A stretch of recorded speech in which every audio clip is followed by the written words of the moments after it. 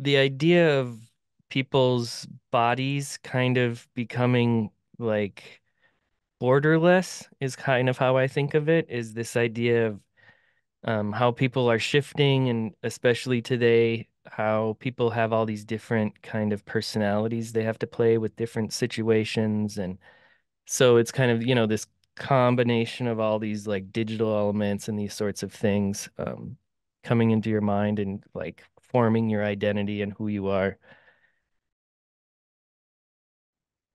Okay, hi everyone.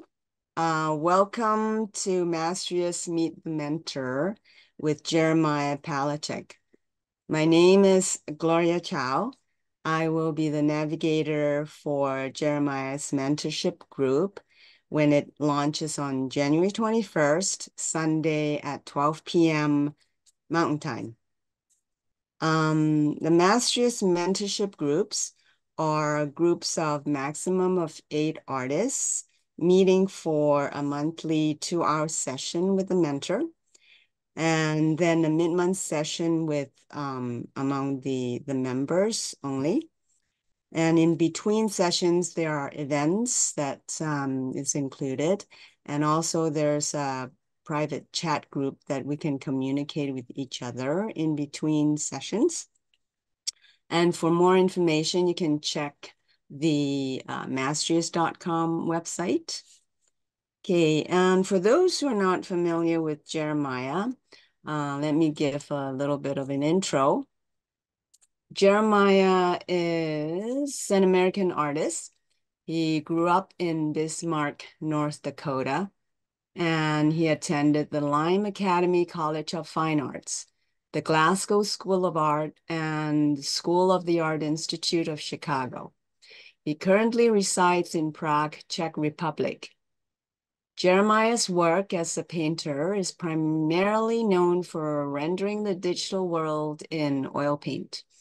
His subject matter includes, but isn't limited to, paintings of video games, television shows, and film stills. Jeremiah's art utilizes symbolism and imagery more common to the digital.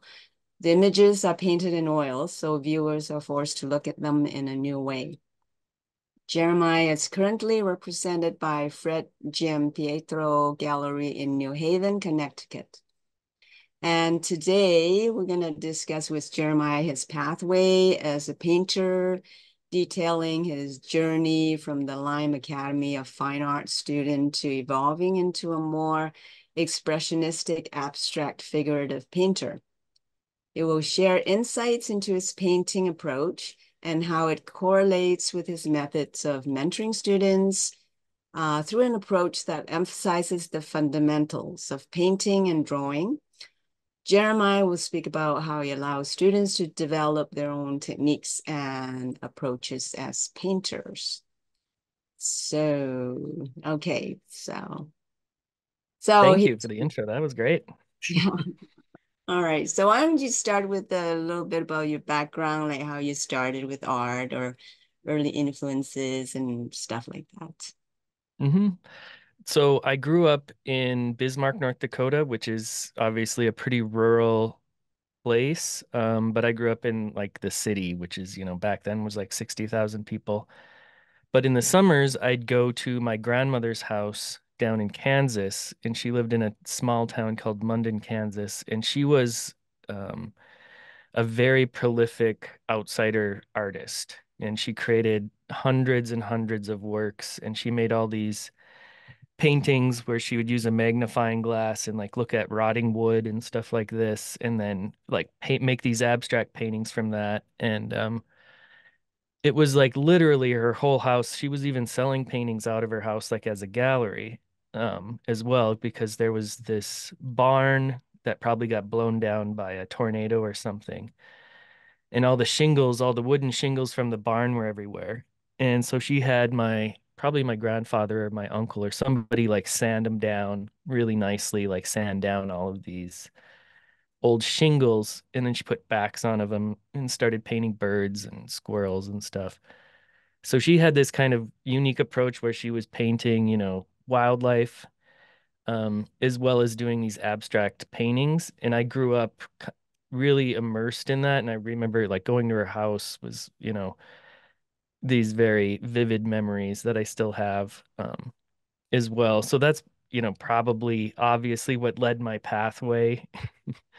if there was something that really influenced me, I'm sure it was probably my grandmother. Um, but yeah, then I went on to study. Um, I actually started at a community college and took some classes there. Then I went to Lyme Academy.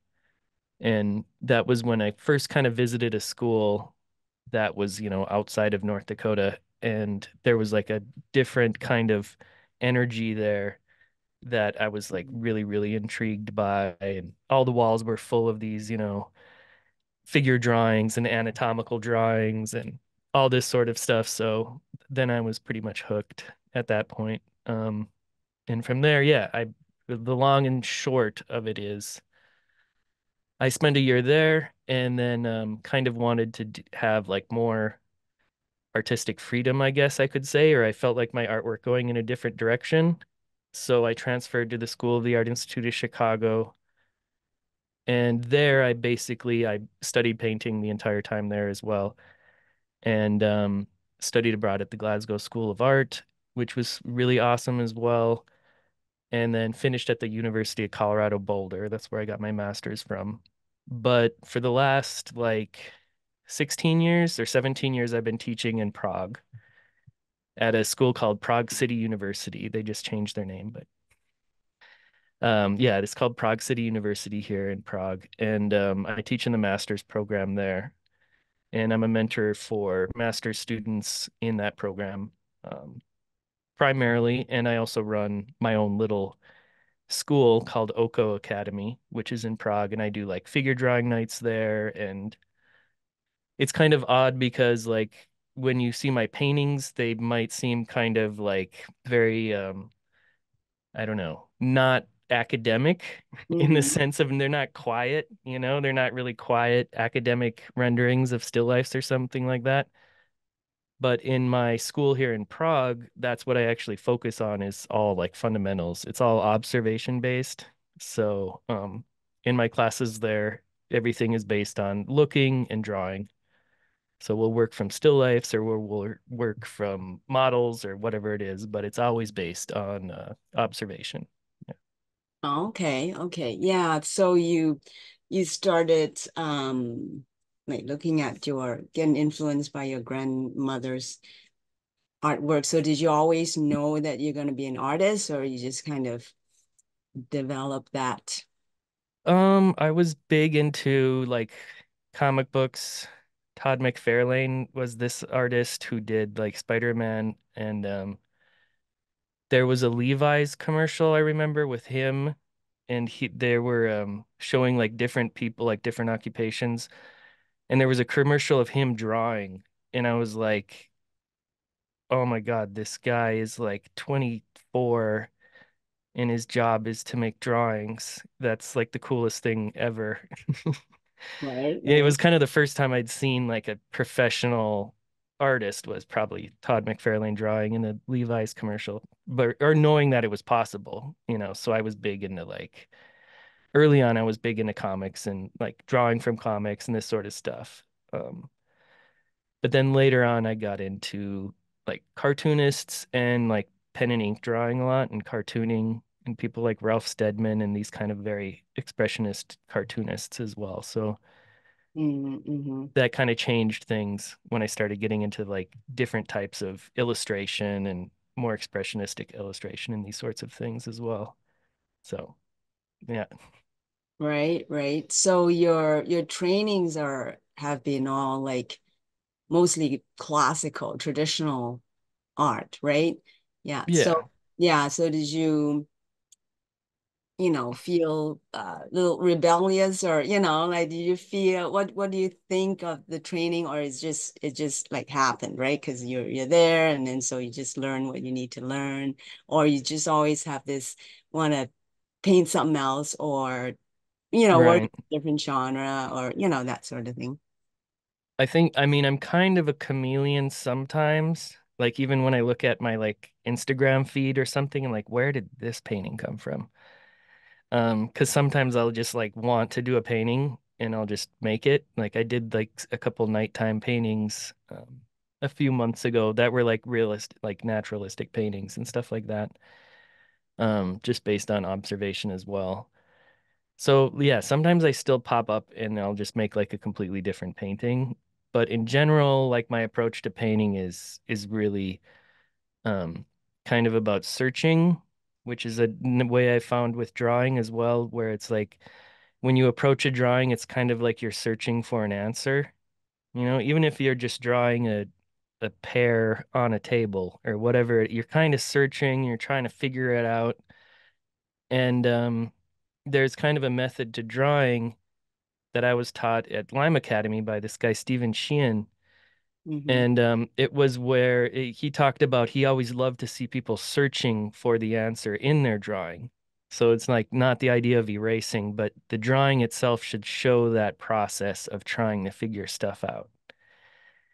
And I think that's really cool too, to kind of instead of focusing, you know, on the finished thing, like part of the painting is that whole process and that whole approach to it and then you kind of end up with something and it's uh, you know a document of you trying to find these answers to these problems and these sorts of things yeah hmm Right. Yeah. So the the process is more interesting, right? Than, you know, yeah it can be result, like, because it, it, you know, it just shows your history or your thought process and, you know, that sort of thing. yeah it's always a balance. Because you hmm can you want to just do you know go crazy the entire time without refining anything either um because you do want to communicate stuff too I think with your artwork. So it's a tough line to walk between you know expressing, you know, going in whatever direction you want and automatically following your instincts and then being like, okay, the light is coming this way. Right. Yeah. one light source here. It's one way, you know, or the colors, this is not working, or whatever it is. So it's like those basics kind of glue everything together still at the end of the day. hmm Yeah, there's so many aspects in like picture making, right? So you have to worry about your fundamentals, uh, the logic, and then you want to express yourself, and then you want to tell a story and communicate with the viewers. So it's like a, a lot of going on while Right. making a piece. For Yeah. sure. I think, and with um with students, Yes, I can show some work st too. Um, with Yeah. students, I kind of like to approach that process the same way, where it's like a problem solving type of a, an approach, where it's like, then you can kind of see like, okay, who, first of all, you know, a first question can be, who are you looking at? Like, who do you think is good? You know, and then that immediately tells me an idea. Okay, so this person likes this approach to painting, you know, so then I need to know the basics of things and we can kind of work backwards from that. And it's like, okay, are you looking at this technique that they're using or are you looking at this color palette that they're using? Like what inspires you about this artist in your own work? And then, you know, a really simple exercise can be to just put your work next to their work and be like, oh, I'm doing this a little bit differently and I want it to really be like this. Or, you know, it's not really stealing, it's more like just trying to figure out what techniques you're really interested in, you know? And then you can kind of problem solve back from that and figure out, okay, this is what I need to improve. This is what I need to get better at, or these things are working. Um, kind of a logical approach, painfully logical approach to painting, maybe.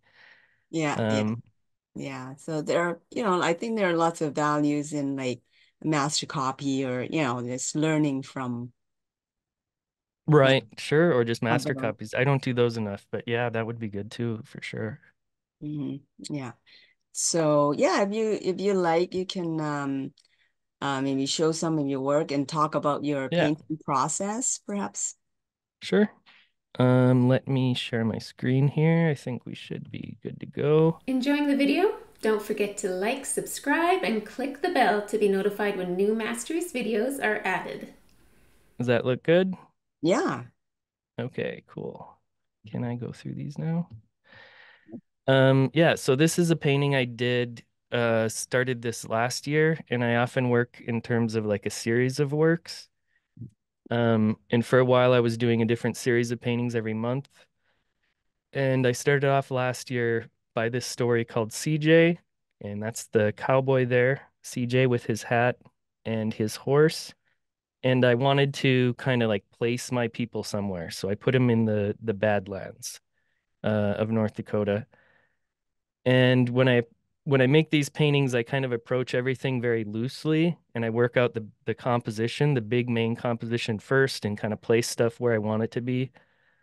And then as I work, I start kind of whittling these forms out of there.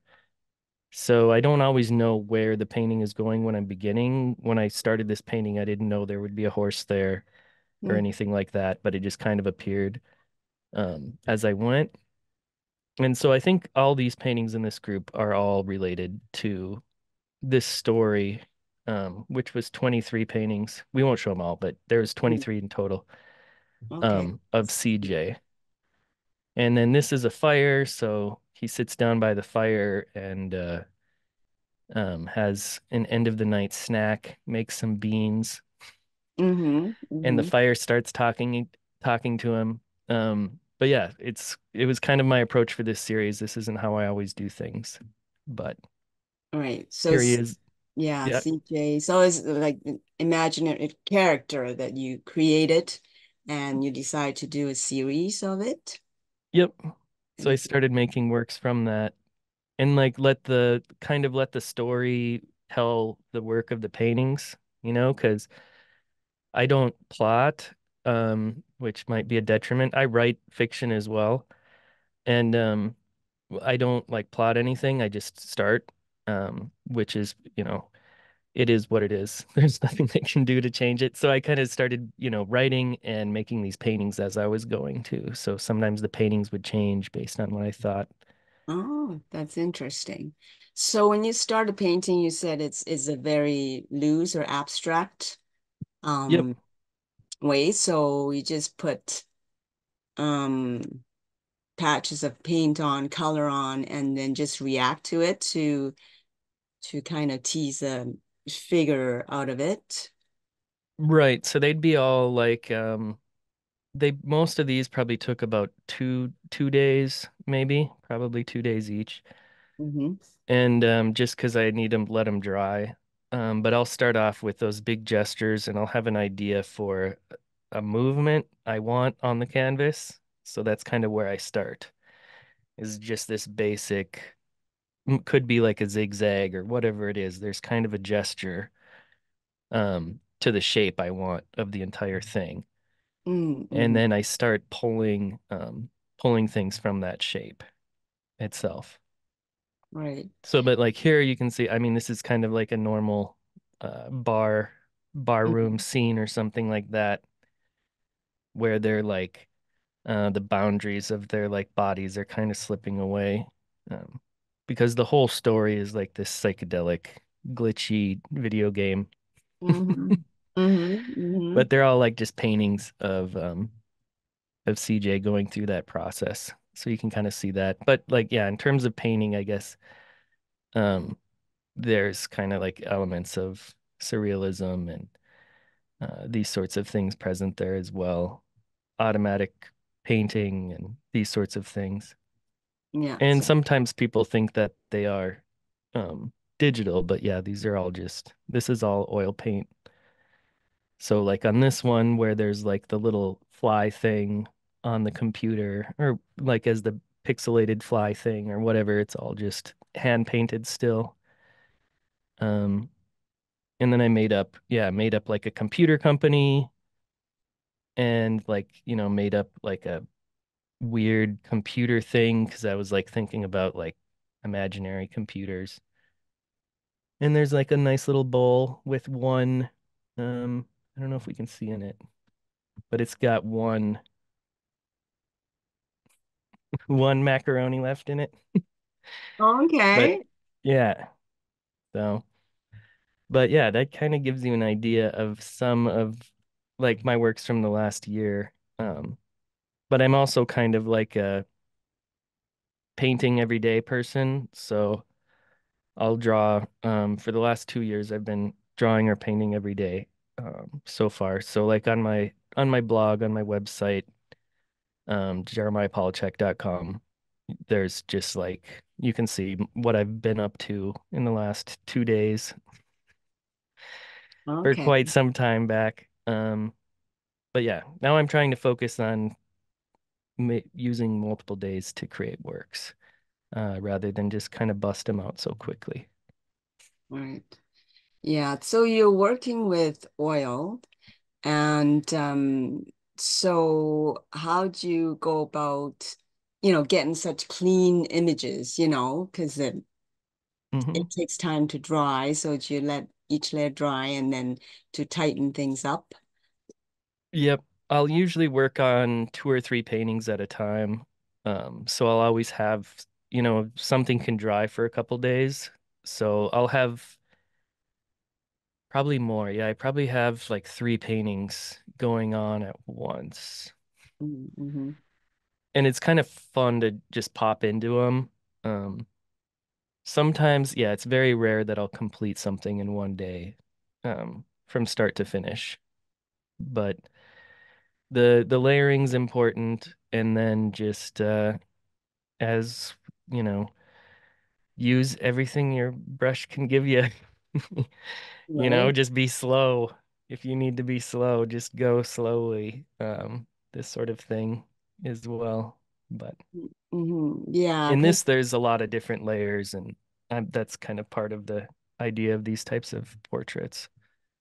mhm. Um, Yeah, it's just I'm I'm you know amazed at how you know clean the the lines are. So you know would you say because you started with like really gestural marks or patches of okay. colors, then Hmm.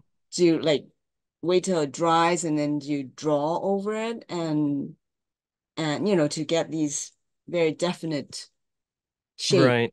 out of I kind right. I kind of will clean it up with just, you know, the uh, you know, like a flat brush and kind of roughly gesture in my my darks and refine those shapes and blend those shapes out and then let that dry and then go on top with a darker color and like reinforce my darks and reinforce my lights. Um, you can kind of glaze a little bit of areas if you need to have some more subtle blending or something like that.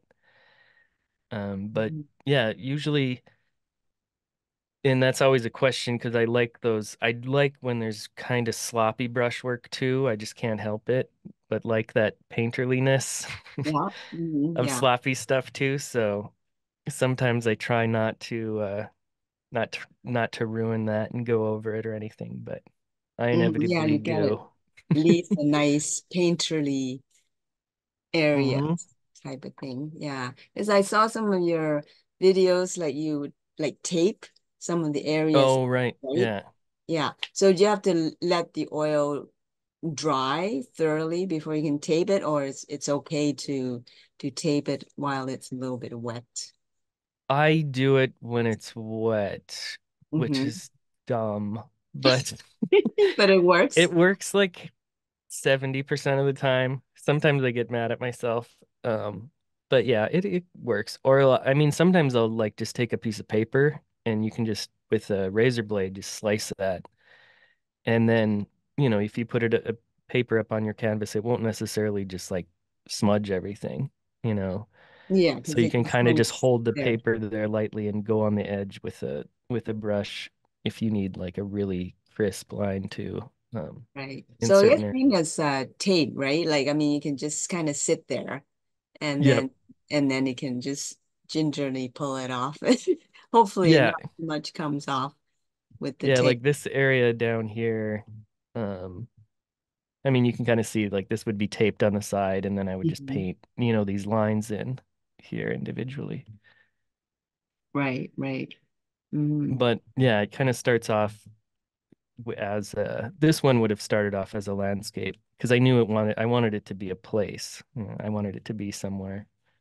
hmm Um, Yeah. So so I would had that landscape first, and then I gestured on top of that. Yeah.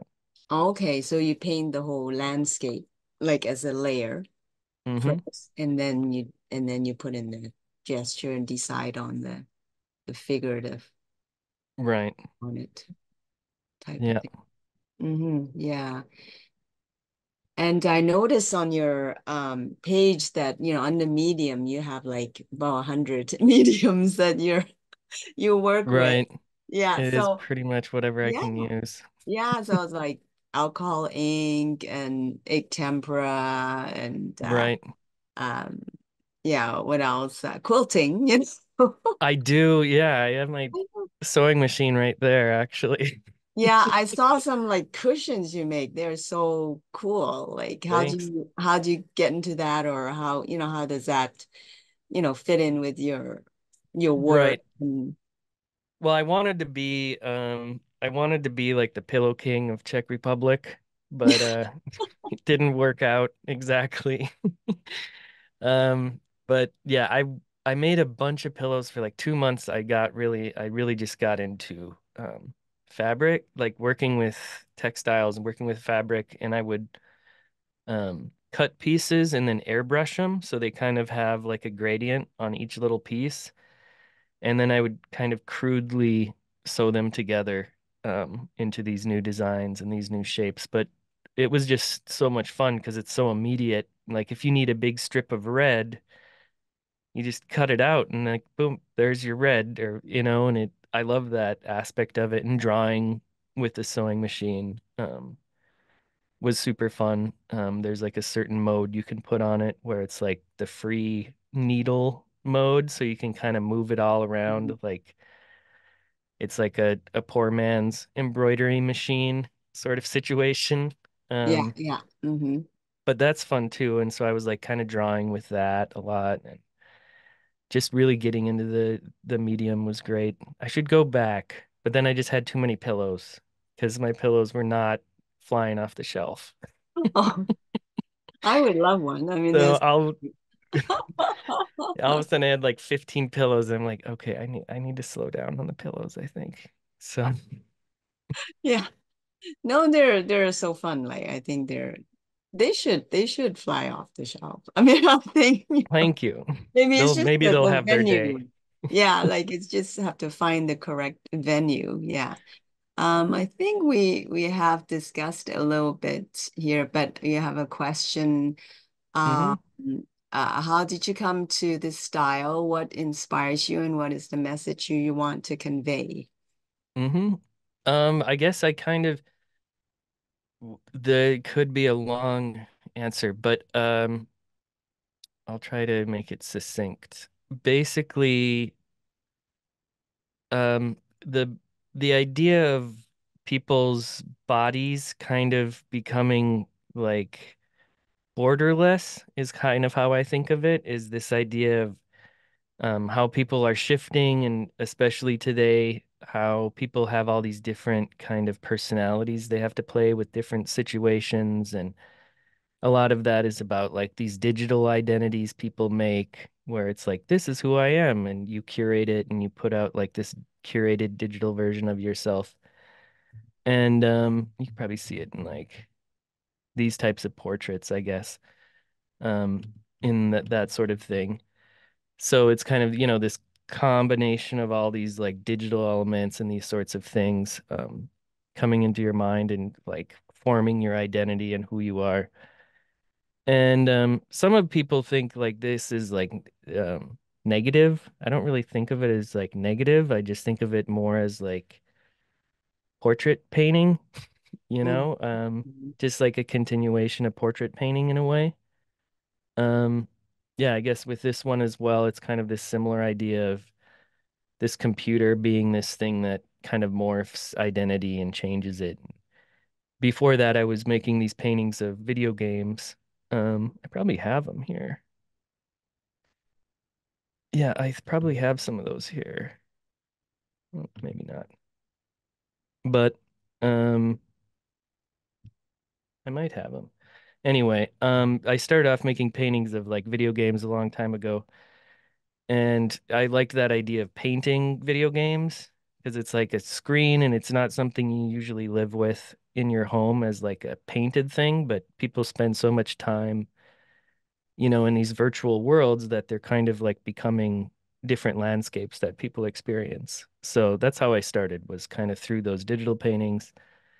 And then they morphed into this explosive um, abstract blobbies Mm-hmm. flying all over the place and um, yeah Yeah. but that's kind of the main ideas and ideas behind those paintings um, and now i'm kind of just interested in tools and like how people use tools i think i have a picture of me like this one Mm-hmm. Oh, is kind of like a ridiculous painting um there's a nice horse in the back hiding out there Right. over here Um, but Yeah. I've yeah, I started kind of just liking tools, like how do people use tools and how do p tools kind of shape people if they're um, a monster truck, you know, how does a monster truck make you feel? If you drove around a monster truck, you know, it would like make you feel different.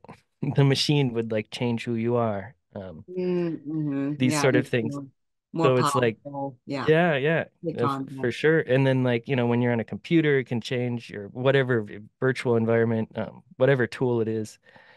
So I'm kind of making these junky, um, these junky paintings now of people morphing into machines. Oh, okay. Yeah. But they're also kind of, yeah, little, it just kind of feels North Dakota and with the hat and everything. Right. Right. Yeah. It's it's yeah. So, what would you say is your like ultimate reason for for doing art? Like, I mean, you know, it's something you you have to do, or like, hmm or you want to communicate with your, you know, other people.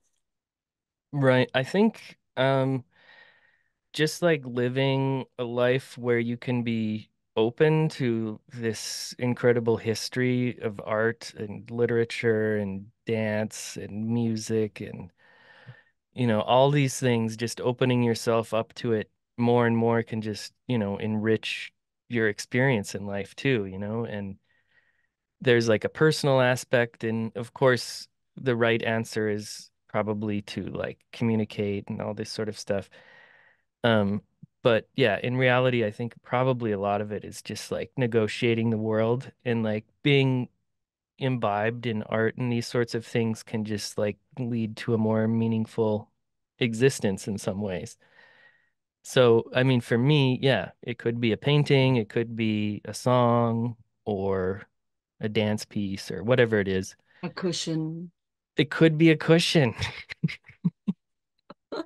And I love that. I love that it could be a cushion, honestly. It doesn't need to be a, a symphony orchestra. Yeah, it could be a cushion. Yeah, no. Oh, that's great. Yeah, I love that. So, so can you tell us a little bit about the mentorship? Like, um, why would you like um to get into teaching or, you know, like mentor others? Um, and how would you plan to do? Right. I think I'm the the main thing generally like when I'm working with um when w working with almost any student, I work with a lot of different types of students. So I work with my Mastrius students as a mentor here, and then at Oko Academy, my own school here, I work individually with students as well. And so, like for me, the most important thing is that um, there's like some expression that we can connect to intention of some sort, you know? So we really need to define like what are your intentions and what do you want to do? And that involves like basic goal setting and these sorts of things and figuring out, you know, what techniques do I need to get better better at, which fundamentals do I need to improve? um, you know, what am I trying to say with this piece? It doesn't have to be a big, giant, complicated idea. It can just be like literally, I want to paint flowers, you know? And um, if you start with, I want to paint flowers, you can go in a million different directions of painting flowers, you know, and figuring out what are the, you know, what is your approach to flowers and, you know, these sorts of things. Um, but also I like to couple that with um, some more like hands-on workshop sort of things because I've been lucky enough to to be exposed to a lot of um, different materials and techniques. Like the the artist I spoke about earlier, Steven Sheehan, He's the actually the guy that uh, edits that big Ralph Mayer, that big Ralph Mayer book, um, the Handbook of Artist Materials Oh. and Techniques. And so, like studying with him, I got, you know, just I'm sure they teach a lot of the same stuff uh, everywhere, but you know, I got to use egg tempera and make my own gesso and do these sort of things. So I do like to infuse um, like the trajectory of my time with somebody where I can also teach them some kind of like basic hands-on sort of stuff as well. And then, you know, they can take it or leave it and then just be like, oh, that worked out well. Okay, I didn't need to really learn how to do that or whatever. But, you know, you can incorporate it or not pretty much into your practice and see what works and what doesn't really, you know. Mm-hmm, mm-hmm, yeah. So with the Mastrius and mentorship, um, so do you plan on, you know, going over like fundamentals and um different things in this, Yeah. right? Yeah. Yeah, I think I mean just composition and color Mm-hmm. in itself are just two areas that can change so much so quickly just by changing your viewpoint on on, on an object or approaching it in a, you know, in a way that's clear in the way you want to present it. Uh, and finding who are your people. You know, I, I try to help. I look at a lot of paintings, so I always try to find help people find their people. If So it's a where do you landscape find painter, yeah, where can where can we find our people? Like, exactly. Well, um, it's hard. It's hard to find your people. I still find people and I'm like, how did I not? I'm supposed to know this person.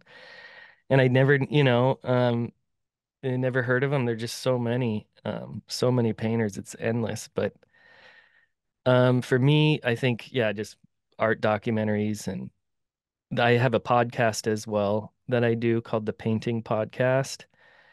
And um, on that, every time I go, it, it's so simple. And I know this is not, you know, serious art history research, but if I go to a Wikipedia page, immediately, you know, you've got all these rabbit holes you can go down um, of whatever it is. Like this, he was, this was his teacher. Oh, who's his mm-hmm. teacher? Or who was mm-hmm. her teacher? You know, and then like, or they're part of this greater movement that did this. Oh, okay, let's investigate that and figure out who are these other artists. Oh, well, how is this how is this person different than the other people in the movement, you know? And all of a sudden you just got all these different things you can pull from, you know? Mm, but mm-hmm. yeah, I, I think identifying, I like to first just get clear on subject with students, and that kind of drives them insane a little bit sometimes. But I like to just be like everything, like portraits are a subject, landscape is a subject, a still life is, you know, it doesn't have to be, it's probably better if it's not something complicated, because then you can just pull from hundreds of years of art history, you know? Um, so just like figure out, okay, what's your subject? I want to paint people. Okay, how do you want them positioned? Are they working at a 7-Eleven or are they in a golden chair? Or, you know, like, Mm-hmm. but starting with that first thing is really critical. It's like, okay, I want I want to do landscapes. All right, let's do that. You know, and I I like working with people that have all sorts of different um goals. You know, it doesn't have to be we all want to paint the same way. It can be a, a group of people that want to paint different ways and want to improve different things. So, Right. So it could be different styles, people painting very different from from you, right? Because all yeah, the principles are the same, like the fundamentals are the same in any kind of of genre right. painting, right? Yeah, for sure. Like I have, there's certain types of painting I'm really very much drawn to that people are kind of surprised that I like it, you know, so much. And so it's like you never know, um, yeah, how somebody from a different approach can can help something even more like traditional or whatever it is. Um, but it's also, I think, with with making art and these situations where you want to mentor somebody uh, you want to just make sure you know what their goals are and be really clear on that, and then be like, okay, so let's approach it like you have a goal of wanting to improve this and this. How can we create exercises to help you, you know, short short-term goals to help you achieve that longer term goal? You know, just like you're trying to do, learn how to play basketball Mhm, or mhm. whatever it is. Right. So early on, you you said like for the the student to say decide on say whether they want to do figure or landscape. So is it just about doing like each painting, or or do you think that they should kind of focus on like one genre first? Like you know they should just do like landscape. You know I want to do landscape and I want to study that, or is it uh, hmm you meant just to start each painting with like a decision that, oh, I'm gonna do a, a, a figure. Right. I would do um I would think of a series. I Mm, that I would probably recommend like thinking of any work as as a series of at least like three paintings or something like that. Um about a subject. It can be as much as 12 paintings, depending on how fast you are, I suppose, or how big they are. mm, mhm, Um, but then it, you know, if you have three, then it becomes like kind if it's three donut paintings, you know, it's like you start figuring out the donut a little bit more, um, and looking at it from different uh, approaches, or should I look up on top of the donut, or should I look from the side, or whatever it is. Um, but yeah, whatever your subject is, I think at least you got to do at least three, and then you're allowed to move on. You have But permission. yeah, I probably, yeah, I, but then again, yeah, I I like that approach because I like kind of having little pieces of paintings be part, be like a thing and then done, where it's like, okay, I did 12 of these paintings, now I'm gonna do something else or investigate something else. So other people, I mean, you could just paint clouds your entire life and probably be okay. Hmm hmm So. Yeah, if it holds your interest. Like, mm. yeah, I was just watching a Edward Hopper documentary. Oh, cool. It's yeah, it's it's amazing. You know, like building and Yeah. No, he's great. I love that sort of stuff. Big, like big shapes and like big abstract shapes of color and these sorts of things. Um, he's great. Yeah, I did a podcast on him actually as right. well. Okay. Yeah, Yeah, I should watch that. Yeah, because it's yeah, it's amazing and his relationship with his wife and you know different things. for And sure.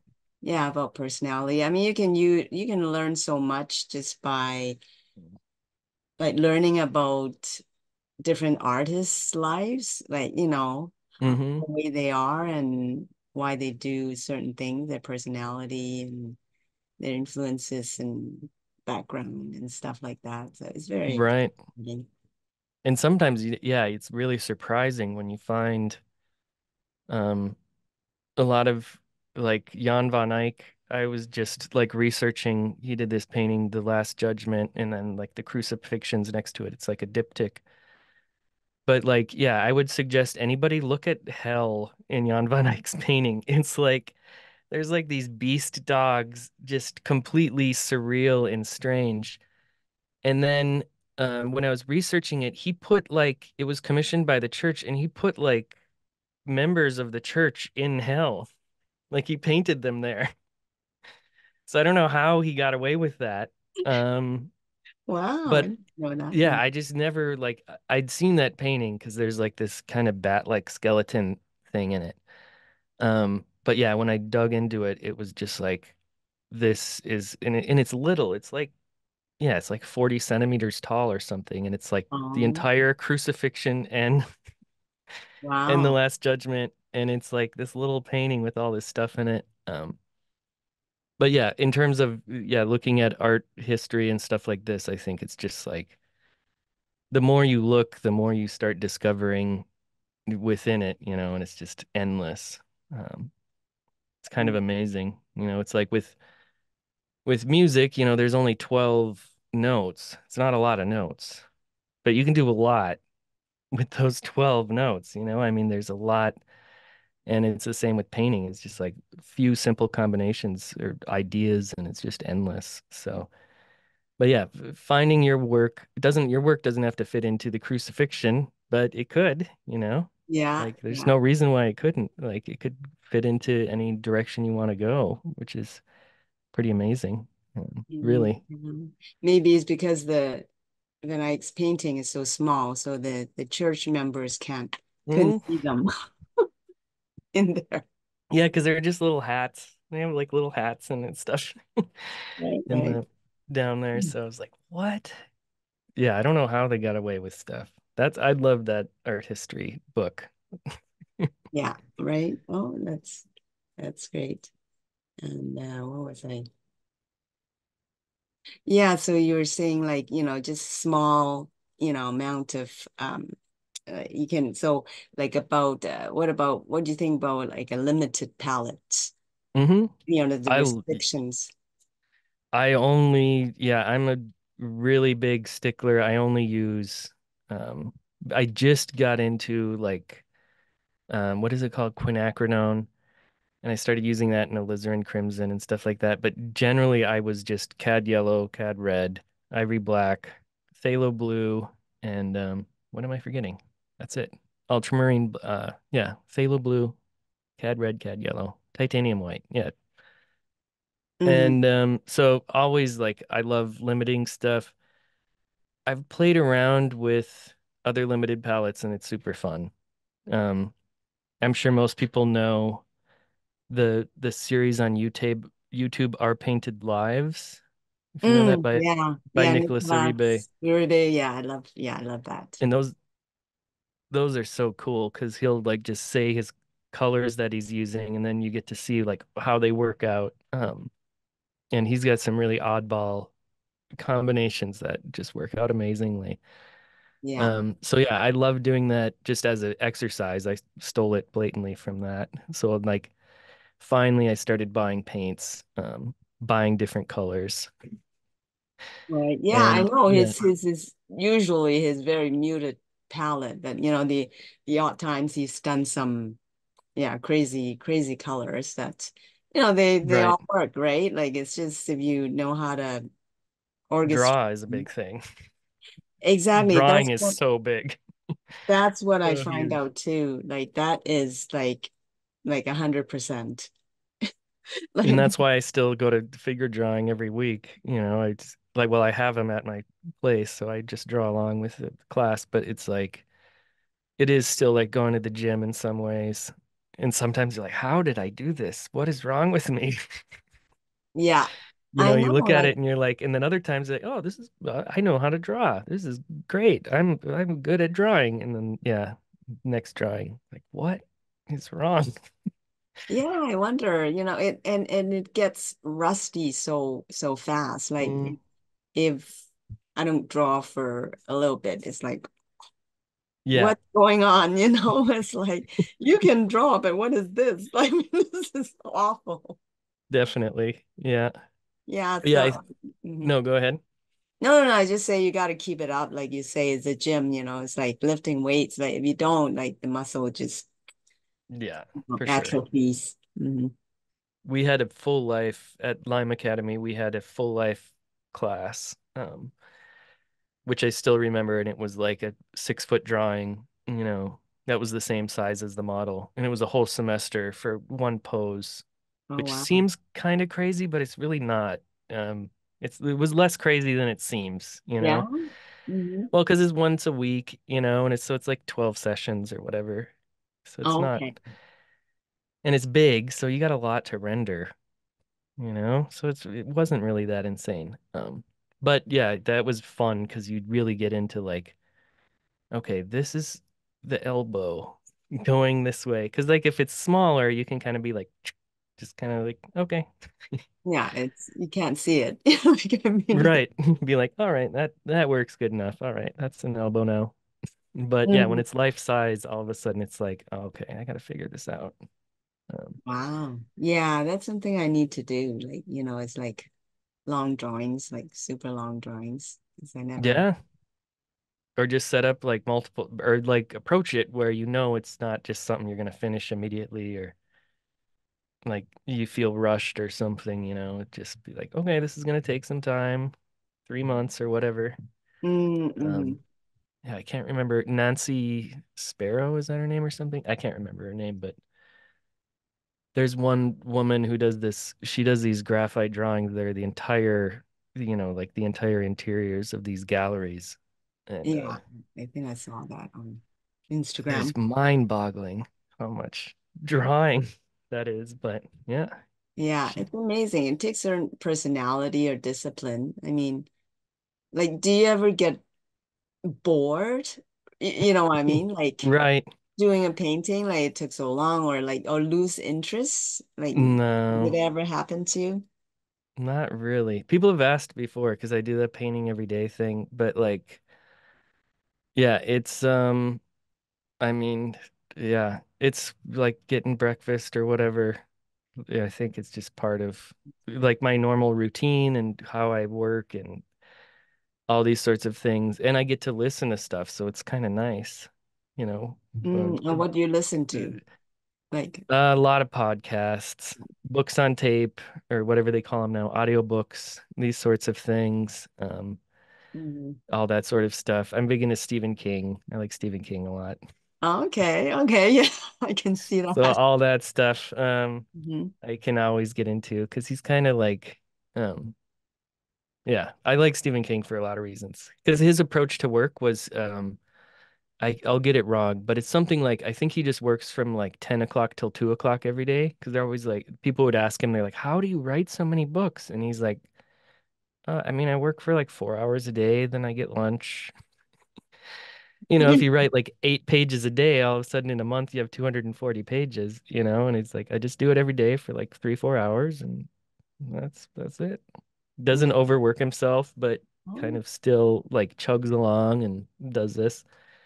Um, he also doesn't plot anything as well, famously, before he just starts writing. So, hmm um, I like I like that approach, I guess. And that's kind of how I paint in some ways too. I'm just like, all right, let's go. Here we're doing the thing. Um, so hmm yeah, I'm not like nervous or bored or annoyed. It's more like, let's do the thing and figure this out. Yeah, Yeah. I love it. So what's your routine? Like it would it be like not 10 to tw you know, two or whatever. Um, it It's almost that. Yeah, hmm hmm it is almost that. It's probably like nine to three o'clock or so. and I get lunch and stuff. And then um because I teach in the evenings. Uh so I have like the mornings free and my daughter is in school as well. So that's when it started because I'd pick her up from school um around like three o'clock every day. So Mm, that's kind of when it got locked in and then now I'm teaching at night. So uh it still works out good with that, yeah. But yeah, pretty much that's my my main routine. Wake up, get to the studio, paint, figure out what I'm teaching, um, prepare the room and this sort of stuff for the evening. But right. yeah, Yeah, it's great that you're kind of forced to to have a balance, right? You know, right. paint Yeah, and then family and then teaching. right. So it's it's more balanced rather than you can stay in your studio 24 hours, you know. Right. Yeah, I'm not an I was never a nighttime painter. I don't know why. It's kind of odd. Um, You but find it odd. Well, people think it's weird. People think I'd be the type of person to be painting at two in the morning or on my sewing machine or something. But yeah, it's it's really the opposite. I get up pretty early and get to the studio pretty early and yeah, work in the mornings and then yeah, um, figure out what else I'm doing Yeah, no, that's good. Yeah. So do you do you kind of like what they say, um, you you plan the night ahead, you know, what you're gonna do um in the morning? Like do you kind of have that structure or Yep, I actually have. Yeah, it's funny you ask that because I have a very, very nerdy approach. And um, yeah, I just have a whiteboard and oh, okay. I literally have a whiteboard and a checklist and I check stuff off and erase it. Um, that's my whole thing. There was one, I think it was, this is gonna sound ridiculous, but I think it was on Shark Tank. You know that show Shark Tank? Mhm. Yeah, yeah. I think it was like Kevin Leary on Shark Tank or something like that. He was talking about he's like the best like the best thing I ever did was bef when I finished work, I wrote down what I needed to do on a, a post-it note and then I Mhm. put it somewhere I'd see the next morning and I'd get it done. And um I kind of do that with my phone, you know, where I'll like write it's just a basic notepad and I'll write down, okay, I got to do this, I got to do this.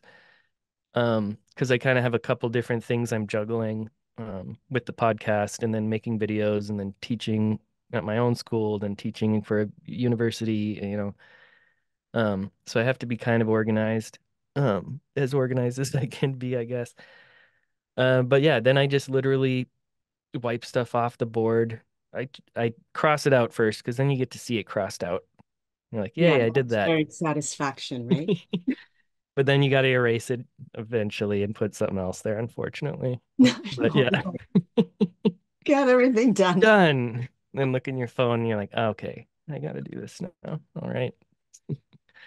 But yeah. I do that with um because I also want to be with my painting, I want it to, you know, when it's something you're you're doing for so long, um and like seeing all my grandmother's work as well, I do want it to kind of it needs to have some direction, you know? And if you give yourself just a little bit, you know, just a little bit of a pathway, I think you can you can find that direction and and make more and more interesting works as you build on them and kind of build out that world, you know, that you've created. Um, Mhm. so for me, I think like limitations like that are kind of important, where it's like this is a story about a cowboy in the Badlands, you know, like that. Okay, now I know what I'm doing. Mhm. Um, so Mhm. you're not just like flailing around. It doesn't have to be a story, but yeah, like I said, it could just be painting flowers Mm. Or donuts. or the donut. Yeah. Yeah. Yeah, that would be a favorite subject. Yeah. And on the line of um productivity, like um, do you know Bobby Chiu on schoolism? And Yes. Right. Yeah. Schoolism. I've heard it. You're right. Yeah. yeah, yeah. So Is talked, that? No, go ahead. oh I'll no, look you, it up just to remind myself. yeah. Um, and uh, he he has this uh, productivity little webinar, and he talks about, you know, because people ask him, you know, how did you get all these things done, like everything done, right? Just like crazy schedule. Right. And he put, he said he put everything on Google Sheet, and uh, so that you can access it anywhere, right? Yeah. On your phone, whatever. So he just Right. put stuff in, you know, and he would just allow maybe maximum of four categories, you know, it's like whatever, home, teaching, Right. you know, your painting. And um, he would put everything you need to do there. And every day he would allow, you know, himself, you know, say, do this for one hour, like do everything for one hour and hmm then you know check it off right and then he has to of course you can do it longer if you need to right you know it Yeah. depends on certain thing but it's like you you- at least you give the chance like you know everything you do it for one hour so then you get everything done eventually instead of just Right. do you know this for like 20 hours five days you know and then just neglect everything else Yeah. and uh, and he would check his list every day, you know, like say the night before or something like that. So, and of course he can Nice. take some items off, right? If if it's not going to be done or not important. So then, you know, then he can forget about it, you know, because it is there. So he said, you know, and you don't have to be thinking Right. it, right? So it's it's always on the the sheet and then you get it done, like at least given one hour.